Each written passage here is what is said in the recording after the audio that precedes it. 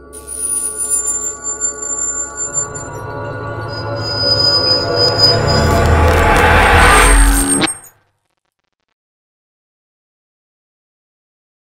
guys, Joe Saunders here.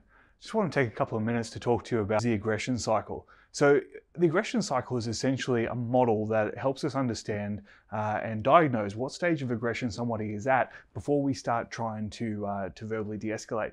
And each stage of the aggression cycle has different strategies that are appropriate. So, at the very beginning of the aggression cycle, someone starts with baseline behavior. So, whatever is normal for them uh, in, in their particular uh, state of mind, in their particular frame of uh, reference, in their way of life, what is normal behavior for them? That's baseline. At some point, they will be triggered by an event. No one really gets angry for no reason. There's always a trigger. It's not always a rational trigger. It's not always a logical thing. It's not always a reasonable thing, but there's always something. It's sometimes it's a sudden acute moment. Sometimes it's a build up that's the uh, proverbial straw that broke the camel's back, something very minor triggers uh, disproportionate aggression and, uh, and outrage. Uh, but that's due to uh, a build up that's happened over time. So the triggering event it's very important for us to understand what in our environment may trigger somebody, especially if we're talking about a workplace context, if we're talking about a customer service environment, understanding what the triggers are in our environment so that we can preempt and we can get in early and either remove the triggers or at least be understanding of the fact that this particular scenario will sometimes trigger somebody. So we need to be very alert and very aware and monitor the behavior of people that are in front of us so we can determine if they've been triggered. Once they've been triggered, they will start to escalate. The escalation phase uh, can be very long and drawn out, or it can take hours, or it can be very sudden. It can take literally split second, uh, and the person will be escalated from the trigger to the crisis point. Most of the time, it's somewhere in between. It's a, it's a, it's a process that you can observe, changes in behavior uh, that will indicate that someone is escalating towards a crisis point. The earlier we can identify this escalation phase, the more options we have and the better success we'll have at being able to verbally de escalate the, uh, the behavior. So that's why it's so important for us to understand uh, the triggers because the earlier we pick up on the trigger, the earlier we'll be able to recognize the signs of escalation and start to de escalate. Once the person has escalated past about halfway point on that, uh, that aggression cycle, it is very, very difficult to de escalate them again.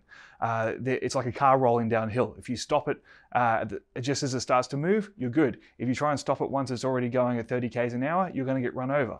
So you need to make sure that you are putting measures in place to de-escalate as soon as humanly possible. As soon as you're aware, start de-escalating. If it's already gone too far, there's no point anymore. You're just putting yourself at risk.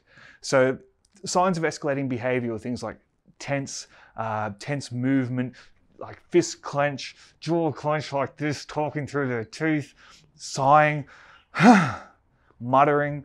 Um, it might be puffing themselves out. It might it might be sort of a bit of a bit of shiftiness. It might be being jittery.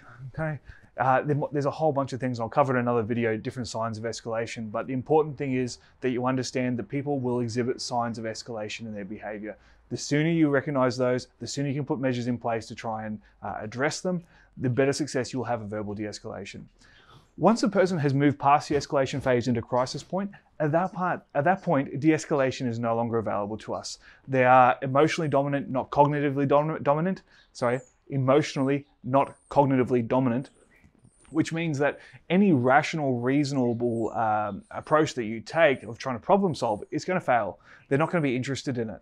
They are purely emotionally dominant at this point and essentially unless you are highly skilled at controlling emotion and you're highly skilled at crisis management and crisis intervention there is no point you being there at that point the only option is to get yourself safe or to physically intervene for most people uh, if that's the case and you're in a workplace, get yourself safe. Hit your duress buttons, activate your security plan, get police or security or whoever it is is going to respond, get them to come to you. Uh, but your priority now is safety. The escalation phase is uh, the part where you can do your good. Uh, once it gets towards the crisis point, uh, really your options are very limited and your priority has to be safety. The crisis point will only last for a set amount of time and then the person will start to de-escalate. If you are still involved at this point during the de-escalation phase, your priority is just to facilitate the de-escalation. So whatever it is that's bringing that person down, facilitate that. Remove the trigger, whatever it was that, that triggered them down here, remove that. If it's a person, even if it's you, get out of there. The trigger needs to be moved away. They need to be taken away from whatever upset them. Because during this de escalation phase, they are very likely to be re triggered again. So we need to be very aware of that. Uh, it's not the time for conversation about the behavior or, or reprimanding them or punishing them or anything like that. That's not the time. We can't do that during the de escalation phase, or it will re escalate them and then we're back to crisis point, back in danger again. De escalation phase is about maintaining safety for everybody and facilitating de escalation of the subject. For most people, that's the end of your involvement. By that point, either the person will have left, the police will be there, security will be taking, taking control. However, if you are in an ongoing care environment, like let's say you're working in a shelter or you're working in uh, healthcare uh, or you're working in the, the prison system, corrections, law enforcement, whatever, where you will have ongoing contact with somebody after that de escalation phase, it's also very important to understand that they'll often go into a post crisis depression. So, in the post crisis depression, their behavior will dip. Uh, they might be very reserved, they might be remorseful, they might be sad. Uh, it can be unusually low behavior for that individual. That takes time to pass, sometimes even a couple of days for that to pass, and then eventually they'll return back to normal. If we're talking about beha- long term behavioral management, client relationships, uh, patient relationships, after that dip is the time that you can start to have conversations about moving forward after that incident. But there's no point doing a counseling or doing a, a, an action plan until that whole cycle has been completed and they're back to normal. Once they're back to normal, now we can have rational conversations. But we need to debrief and make sure that we've learned the triggers so that the next time we see this person, the next time we have this situation, that we do not repeat the same triggers because that would be silly. I hope this has helped. If you have any questions or comments, or you have any experiences that validate this or contradict this, please by all means throw them in the comments below. Would love to talk to you. And of course, if you want any more information, check out my website, www.joesaunders.com.au, and the podcast, the Managing Violence podcast, on all major podcast providers. Uh, would be great to reach out, be great to talk to you. I am available for consulting, training, speaking, anything that you want. I'm pretty much can do it. Uh, if you're in, at all interested in violence prevention and aggression management, I'd love to hear from you.